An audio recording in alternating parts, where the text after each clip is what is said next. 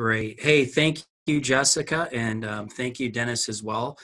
Um, and uh, we're excited today to uh, go over a lot of what's been happening out there with uh, shade taking and recently with uh, COVID.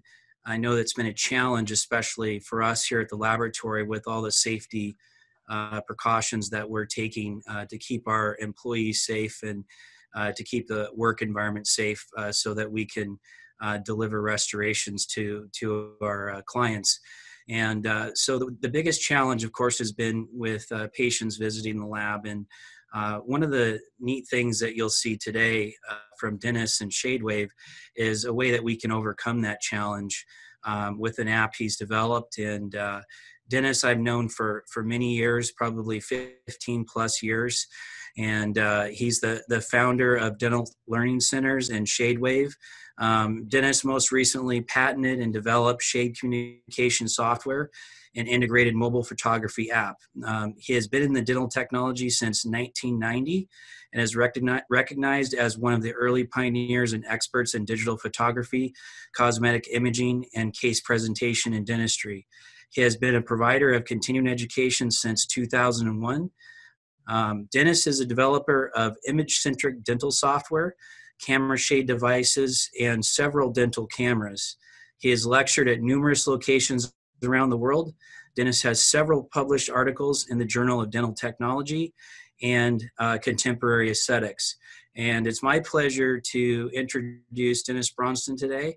And uh, we're very excited about what he has and how this can help us uh, with not only getting better shades uh, for the laboratories, but also uh, taking care and satisfying our doctors and patients' needs. Uh, so, without further ado, I'd like to turn it over to Dennis Braunston. Thank you. Thank you very much, Damon. It, so, the first thing I want to mention is thank you very much, uh, DSG, and everything that you've done to put this together.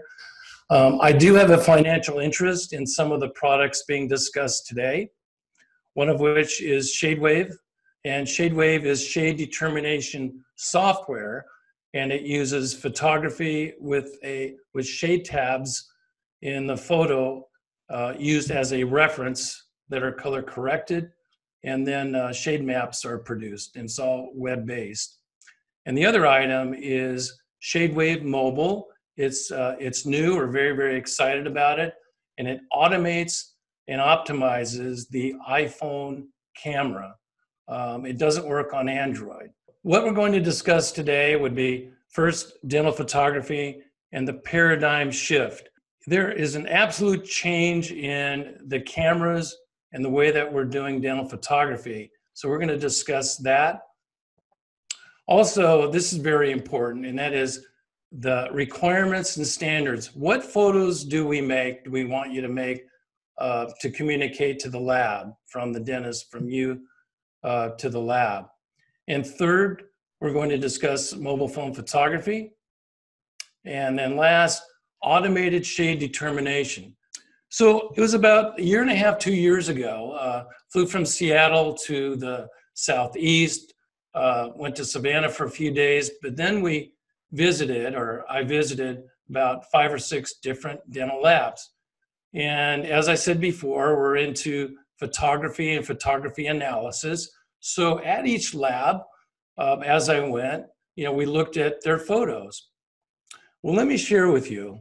By the time I got to the sixth, the last lab, and we were done, I was absolutely floored.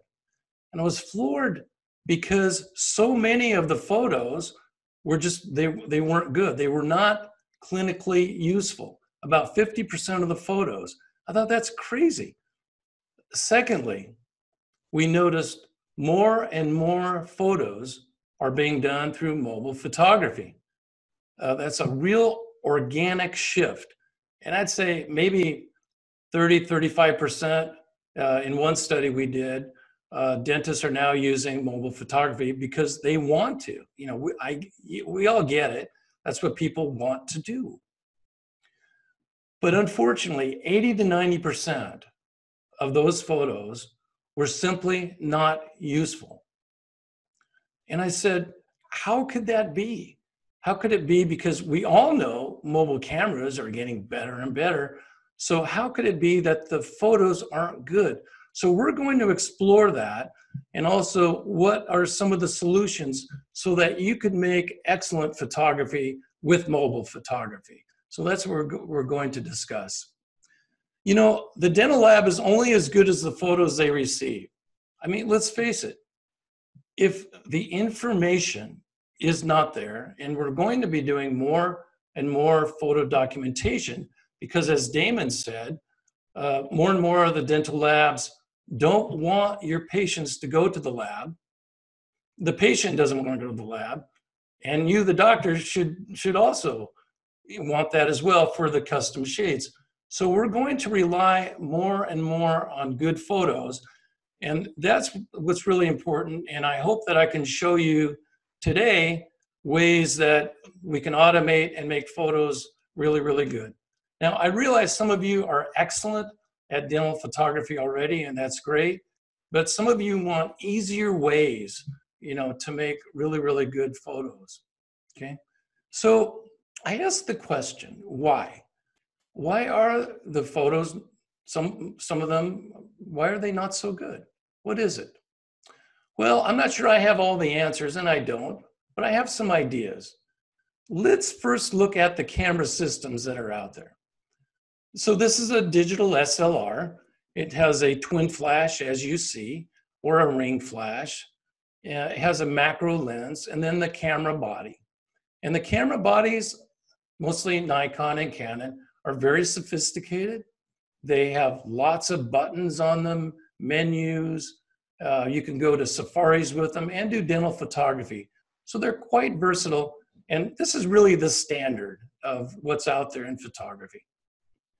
But a lot of dental um, professionals said, you know, I don't want to use this camera because it's too much for me. I want something simpler for my staff and I.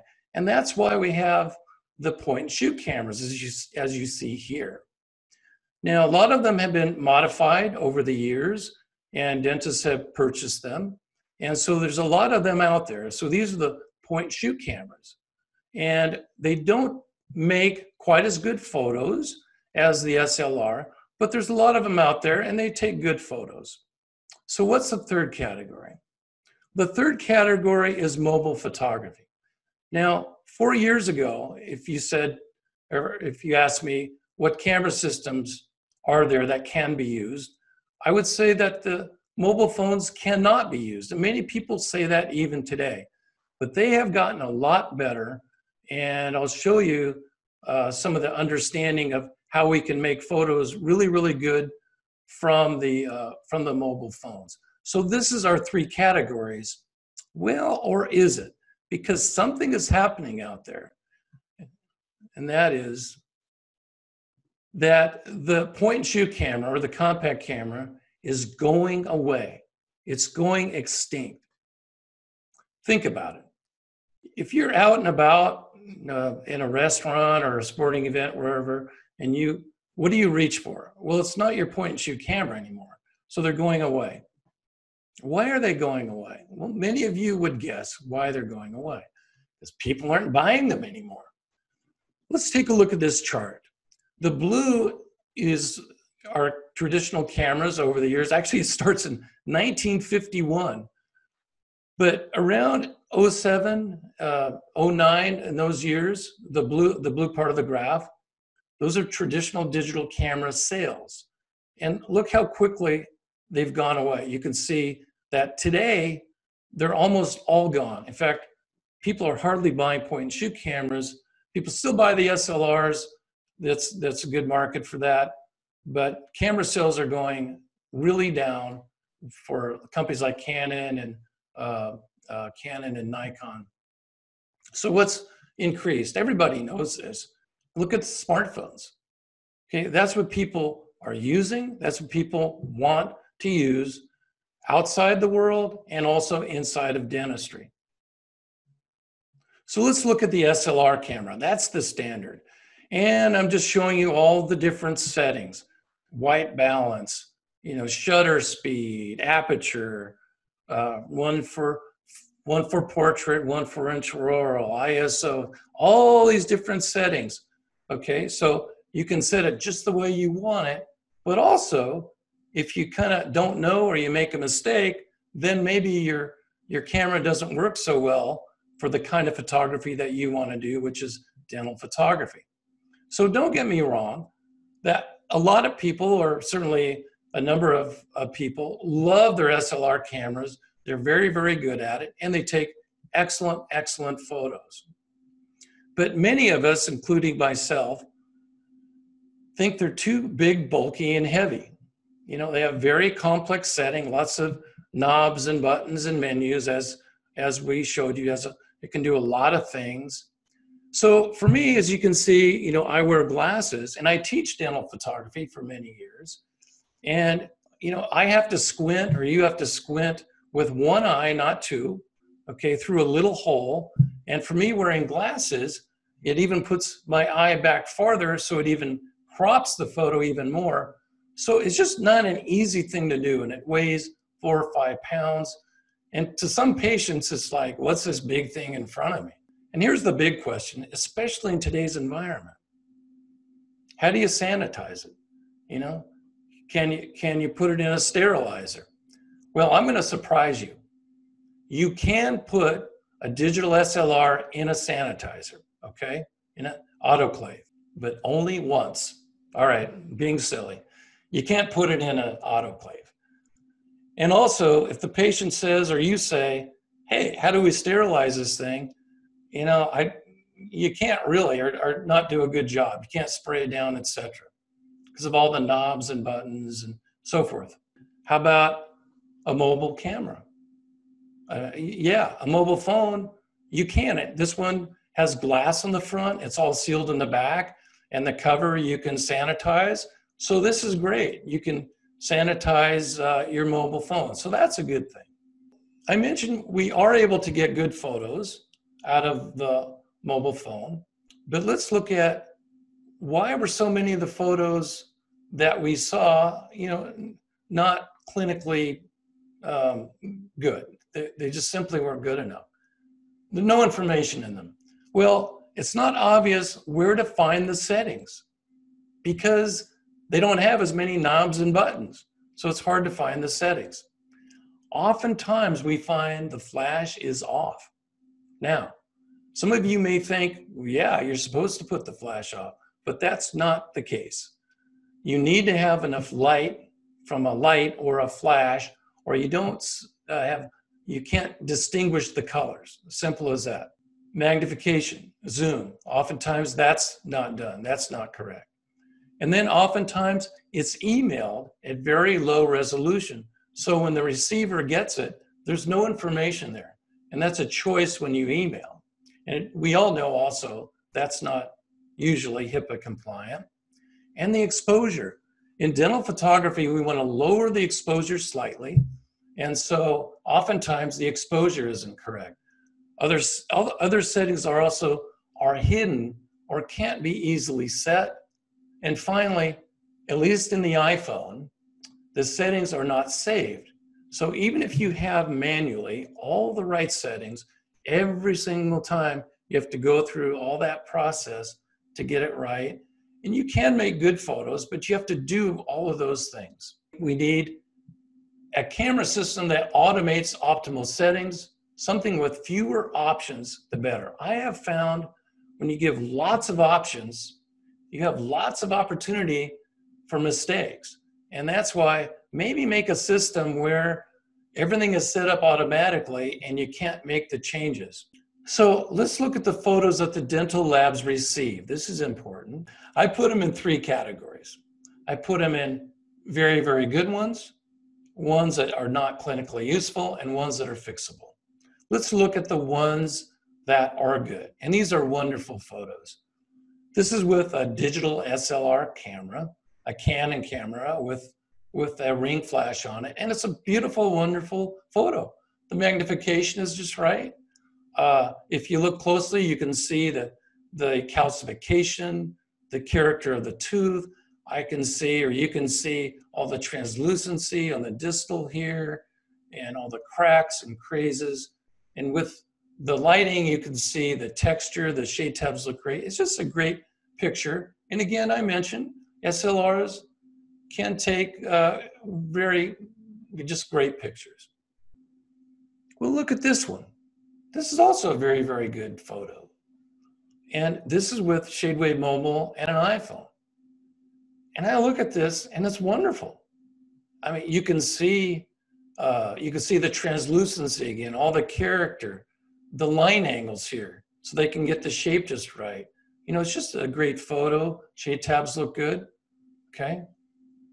And here's another photo, again with ShadeWave Mobile and the iPhone. It's another very, very good photo. You can see all the character of the tooth, shade tabs, it's great. Same thing here.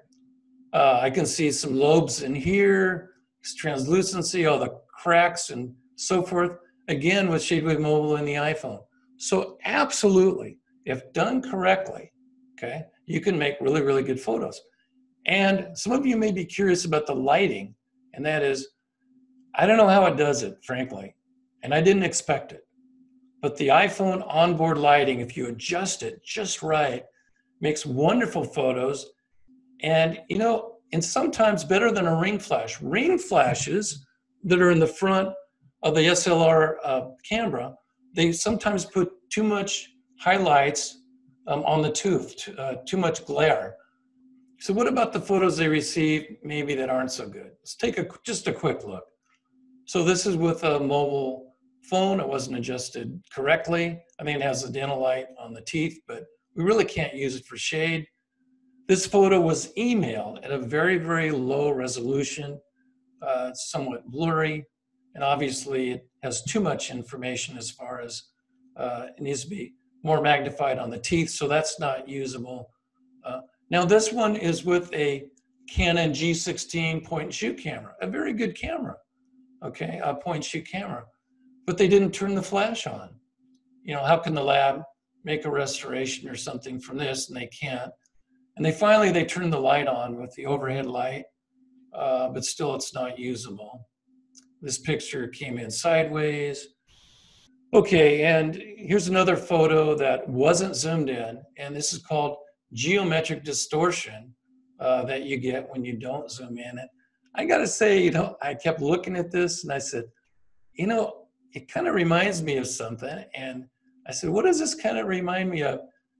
And I said, I know it's a proboscis monkey. All right, so I digress. I apologize, but sometimes we have to laugh a little bit. I'm sure I'll get chastised for this later. Okay, so let's move on. So I do ask the lab professionals, I say, okay, there you are.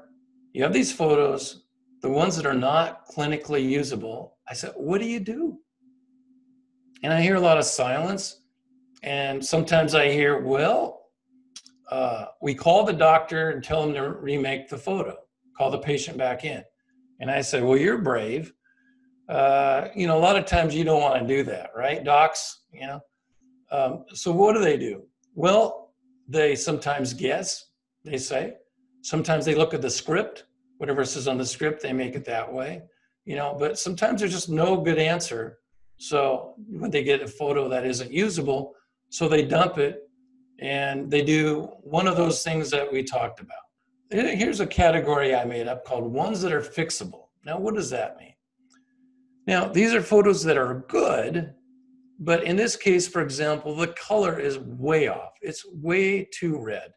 So sometimes the photos are too red or too blue or too dark, too light. And later we're going to show you through our demo how even with photos that are bad color or bad or the exposure isn't right, how easily that we can fix it and get the shades in seconds um, with our ShadeWave program. Let's look at guidelines for lab photos. And again, I think this is really important. You need to make photos uh, with the tooth to be matched. Don't take a photo of temporaries or open missing spaces without teeth. You just need to think and uh, you want to make sure you take a photo of the correct tooth. Secondly, the photos need to take a shade tab. There needs to be a reference in there, just not a picture of the teeth or the stump shade. A shade tab needs to be in there and take a picture of it with the name showing. Uh, that's important. Now for ShadeWave, Shade Wave, it, it uses the shade tabs as a reference, so it does not have to match the tooth. Okay, so it's different. Now, this one is varying pitch. That's like, like this, like up and down. I'll show you here in a moment. Varying the pitch is okay, uh, but not right to left if you're going to just to make one photo. So let me show you what I'm referring to. So this would be varying the pitch. So the middle one here, that's called normal. And you just shoot that photo straight on, especially for a single central. Uh, these photos are really important, more than one photo. Photos that you, you take straight on, it shows more texture and line angles uh, and more glare, but that's okay. When you raise the camera up higher, like the photo up above, that's in the superior angle, if you will, then that's better for shade taking, and the one down at the bottom. So the top and the bottom, at those angles, uh, there won't be glare on the tooth itself, so it's better for shade. And the one in the middle is good for seeing texture. This is called yaw, and that would be if you just make one photo and it's like this. Now, I know that's not a tooth, and you know that, but I'm just showing you by example the angle. So if you just provided one photo like this, it's, it's missing information. You need to be sure you shoot it straight on. Now, again, if it's a single central, then you do all of it, varying the pitch, and you can take a photo of the tooth to the left and the right, and your technician is going to love it. They have all the information to do a great job for you. Next item is file size. One megabyte or greater. That's not a problem. All your cameras will do that unless you take it with a mobile phone and you email it under the lowest resolution, but it needs to be one megabyte or greater. What about content? Okay, I know that some of you can make photos with two teeth. You don't want that. And you don't want photos of a half of a face, about six to 10 teeth. So that's what you're looking for as far as content. And you must use a flash or a light, or you simply cannot determine all the colors. Uh, so you need a flash or attached light. We want limited glare or highlights in the middle of the shade tab. If there's a big glare in the middle of the shade tab, you can't see the color. It can't really be used. Uh, all glare comes out white. So we need to look at the photos later and make sure that there's not too much glare in the middle of the shade tab. We'll show you a couple techniques in a moment how to limit that. And then last, clinical quality. And this is kind of subjective, but photos showing characterization, texture, translucency, and other aesthetics. That's why photography is important to transfer all of that vital information so that your lab te technician, again, can build it all in. A quick summary, six to 10 teeth, and get the, the quality aspects there. That's what you need to look for. So what photos do we take?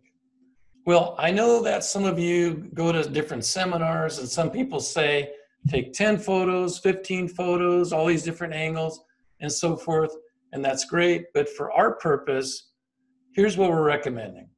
One is full face. Why would you take a full face photo and send that to your lab? Well, there's a few reasons. And some of you are out there thinking, oh, I know the answer. It's for head shape, how much are they smiling, what do they show, and so forth. And that's true. But there's another reason, and that is if you're working on the bench and you're a technician, it, it's nice if there would be an emotional connection between what you're doing, your life's work, and who it's going to be for. So there's this emotional connection. And I think that's really important. So go ahead and, and do a full face photo. Um, don't worry about HIPAA. The dental lab is your agent, and it's okay to do that.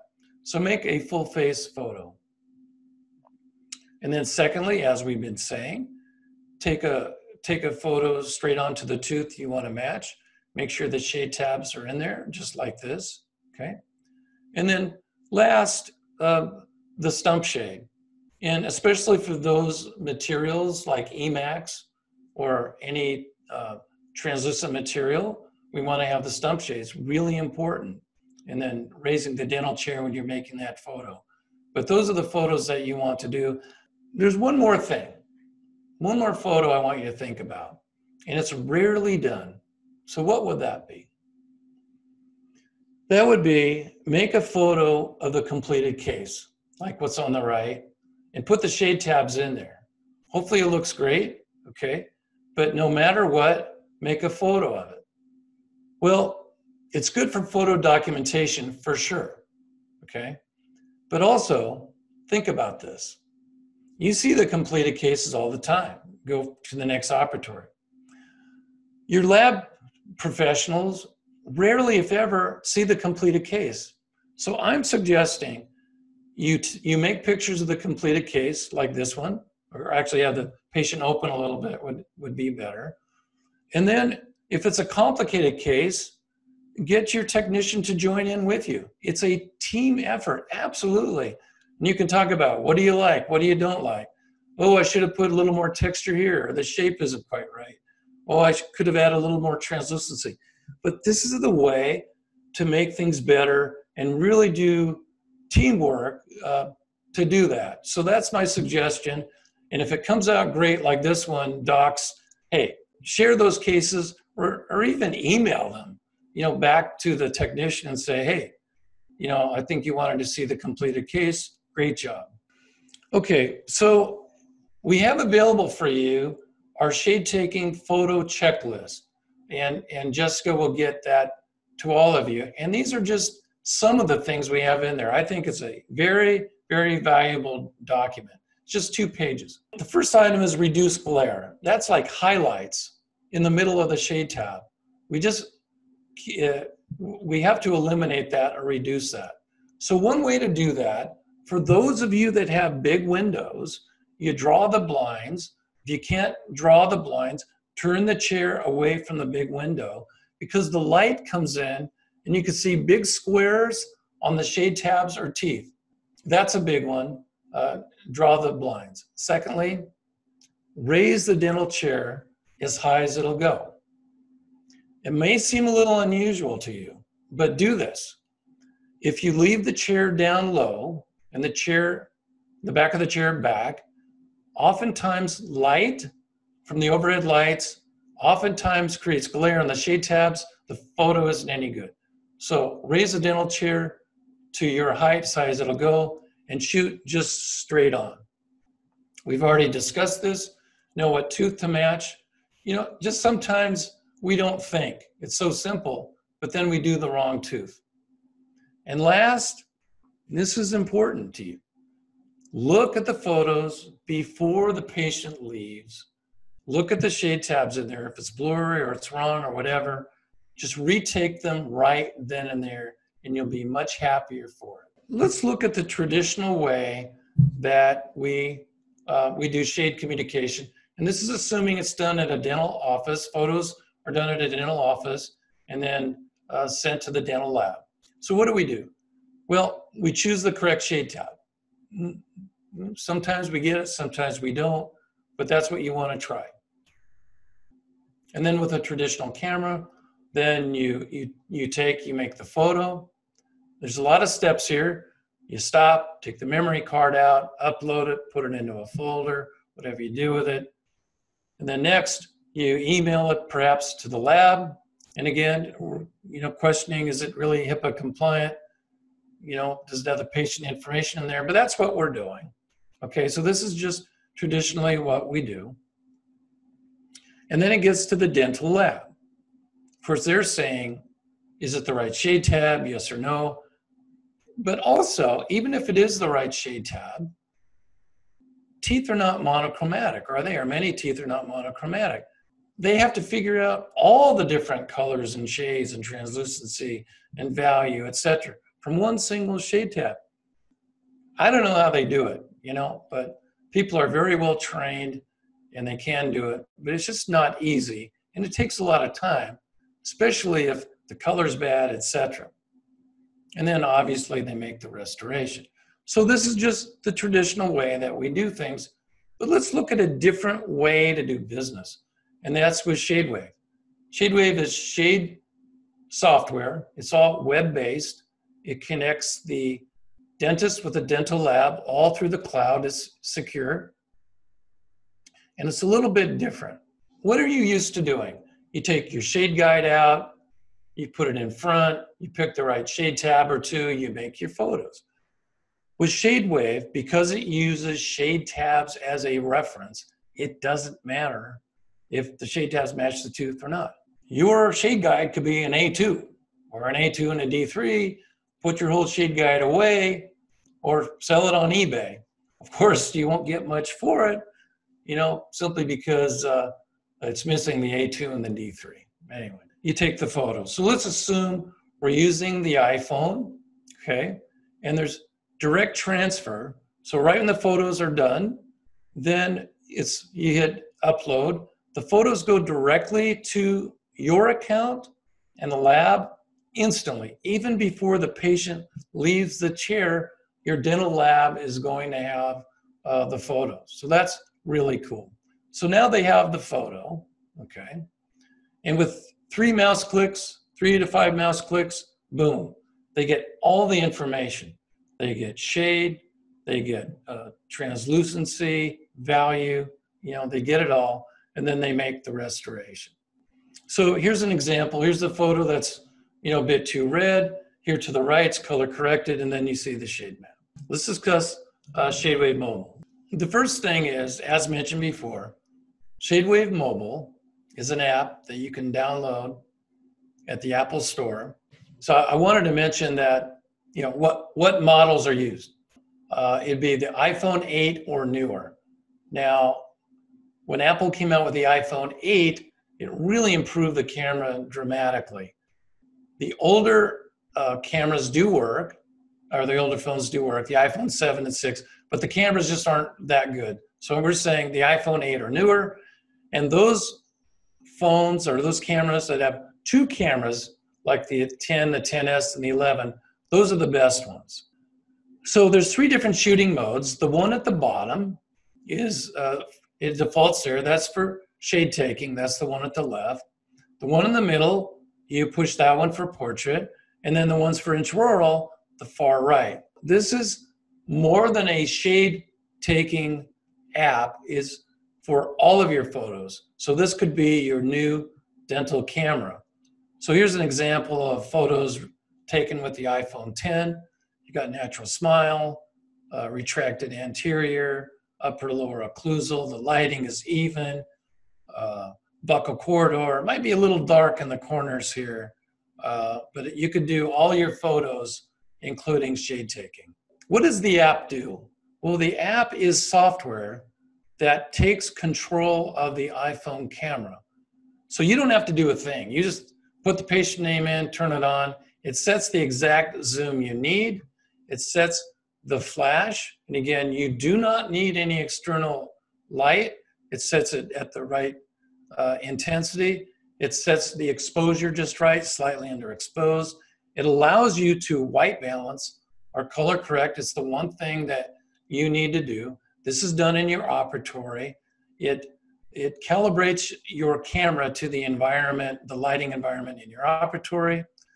It sets the aperture for the best depth of field from the phone, and it sets the IOS for the best clarity. So those are the all presets, including the uh, the flashlight comes on, so you can literally turn your lights out in the operatory if you're getting too much glare, and it still will make an excellent photo. So let's go through the process. If you look at the one on the left, you raise the dental chair as high as it'll go. You make the back forward just like this. Okay, simple as that. And again, if there's a big window, you might want to turn the dental chair. Number two, you get your two shade tabs, say an A2 and a D3. We didn't discuss this before. This is called a shade tab holder. We used to call it a reference. It's an optional item, but it's really cool. So it holds your shade tabs, has little windows in there so you can see the names of the shade tabs. And then the photographer gets about four and a half inches away and makes the picture. So I want to just show you a little video of how it works.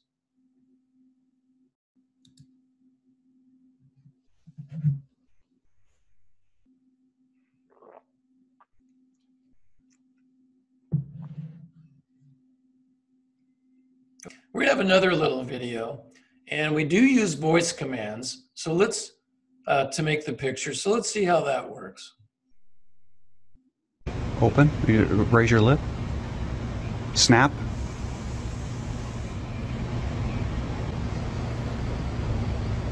Snap.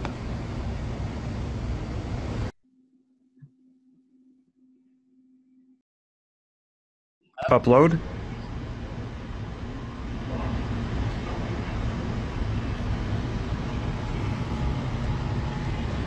Okay, so upload and you get it right to the lab. So we're getting close to our last slide.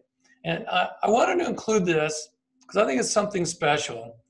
So um, this doctor, uh, the one that took both photos actually, but he's had a Fuji S2 Pro uh, for what, 15, 17 years.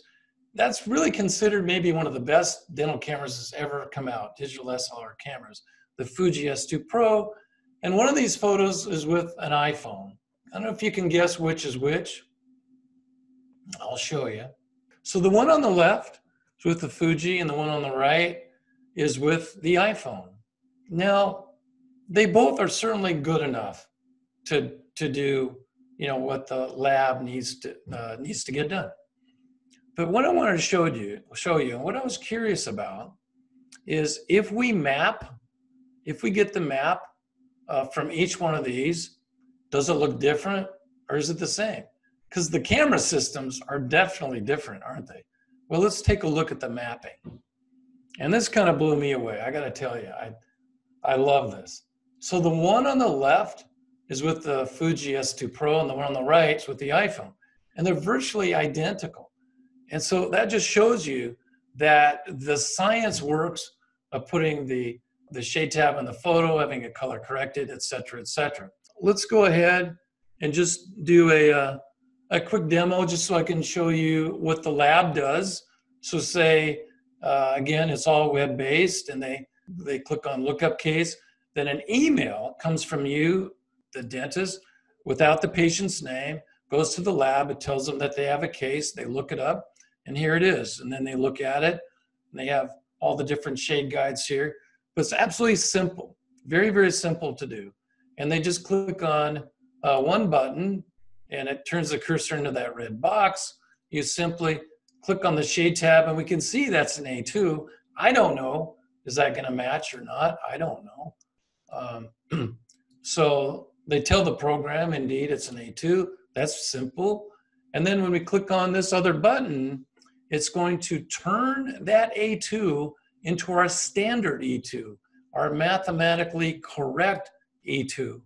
And by doing that, it color corrects the entire image just like this. So that's the, the color corrected image. And now you go, wow, that other photo was too red. The skin tones look great.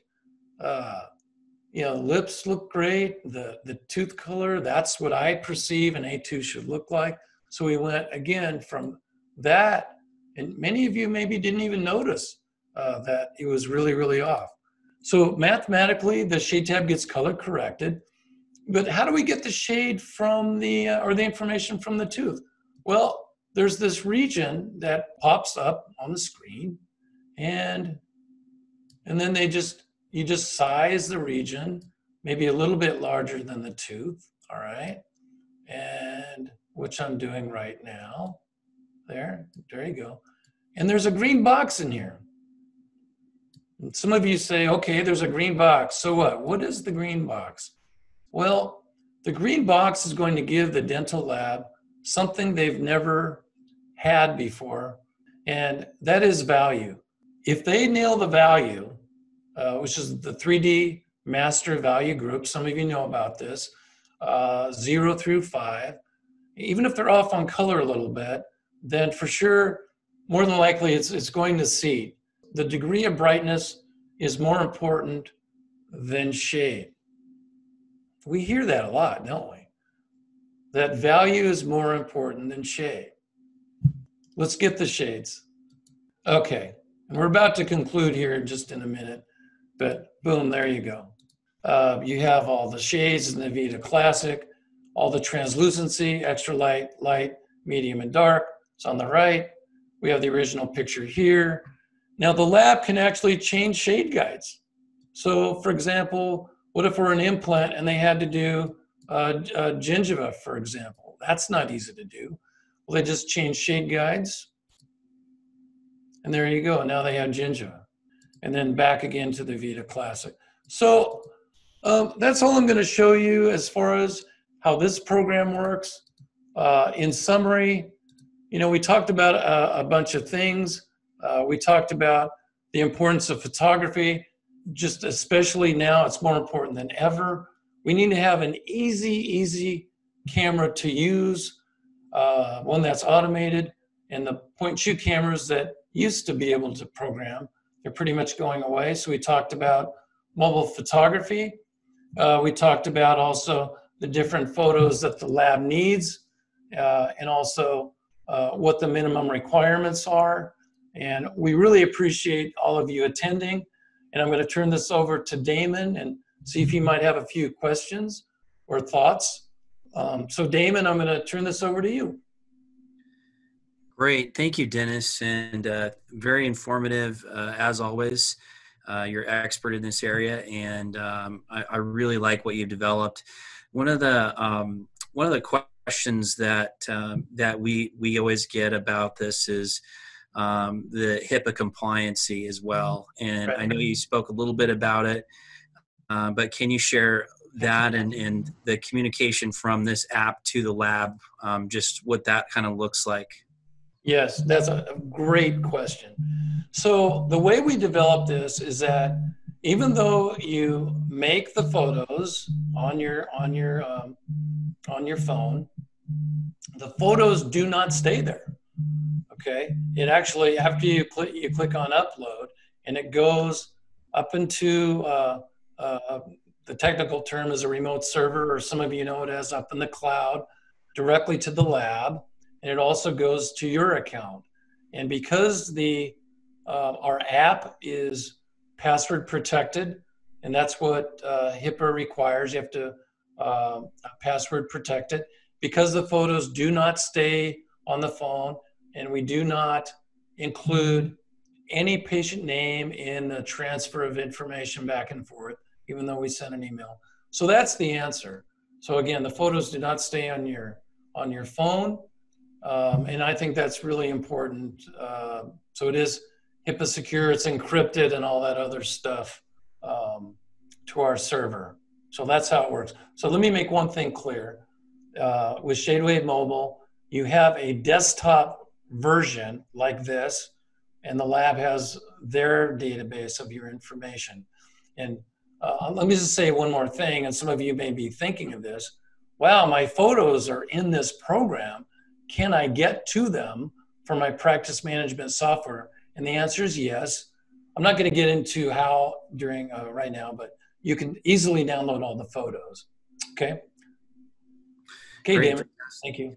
Yeah, there's a box down there. If anyone has any questions where it says Q and A, um, you're, you're, welcome to uh, type a question in that box. Um, you know, one of the other things that um, that always comes up as well uh, with with uh, ShadeWave is um, you you you know this this app is um, is rather recent, yes, but you've had a lot long term uh, success rate with ShadeWave before this app. And um, you know maybe you can talk about the the accuracy you already had and yeah. just the difference there. Yeah. Well i tell you like anyone developing technology it you know it doesn't just happen and i'll tell you we we started about eight years ago actually with shadewave and uh, i'll be first to admit uh, i don't like uh, I'll, I'll just say it this way the way edison said it and that is we found a lot of different ways not to make it, okay, um, along the way. But we're at a point now where we really have our formulas are very, very good. Um, and it, the program itself, uh, we know through a lot of testing, it works very, very well. And just the, the real key and the real challenge is to make it work, we need decent photos. That's why I spent so much time on photography. But the program's uh, been around, it is patented, and we just know from experience in a lot of restorations, it works very, very well. And the app, the ShadeWave Mobile, um, I started this four years ago. So we put a lot of R&D into it. The challenge we had back when we started, the cameras weren't so good. So we kept trying to make it better and better, and it never made it until the cameras got better, and then we had all the programming done, etc. So, so even though it just came out, uh, it's been tested quite a bit. Okay. Another question: um, Can you go over again uh, the iPhones or what mobile devices are best to, to use for, yeah. for this? Yeah, I'll, I'll just say it verbally because I'm not sure exactly where that slide is. So I'll tell you what what uh, we don't have: the iPads. We just decided that iPads were too bulky. Many of them do not have a flash, so this is just for the iPhone. And the models, the iPhone 8 and newer, just got a lot better. It will work, okay? It will work on the 7 and the 6, but the camera is not so good. So the iPhone 8 and newer, and the best ones are the one with two cameras. And there's a reason for that. I didn't say it earlier. And that is, it actually, the lens uh, cuts the uh, digital zoom in half. So we don't have uh, we don't have as much digital zoom, and the photo quality is just better in those phones. Okay. Great, thank you. Um, the other question, and I don't know, Jessica, if we have shared the uh, the landing page there, but I know there might be more interest in uh, in ShadeWave uh, and also the app there. Did we share that with everyone? We have not. I'm going to go ahead and do that now. Dennis also mentioned several uh, handouts throughout the presentation, and we do promise that those will be coming post webinar too. Okay, good. Great. Well, thank you. If there isn't any other questions, um, uh, this webinar, and I just want to uh, thank Dennis Braunston again uh, for going over and uh, being so thorough with this. And we're very excited about it at DSG. Um, we see this as uh, this is, has been a challenge as of recently, and um, we definitely can see the savings for the doctor, um, not only on the patient's time uh, traveling to the lab, uh, but also internally uh, with us as well with better communication. And I think it's a it's a win all the way around with this app and uh, we're very excited. So uh, thank you, Dennis, and I'll turn it over to uh, Jessica, and uh, we'll wrap it up. Thank you. And I did post up the um, landing page really quick in the, in the chat box in case you want to click on it and open another link before we shut this down. It is dentalservices.net backslash shadewave. And we do thank you for attending today. Thank you. Any other questions or concerns, feel free to email us at education at dentalservices.net. And we do look forward to seeing you again in future learning opportunities. Thank you for your participation and have a great day. Thank you. Thank you.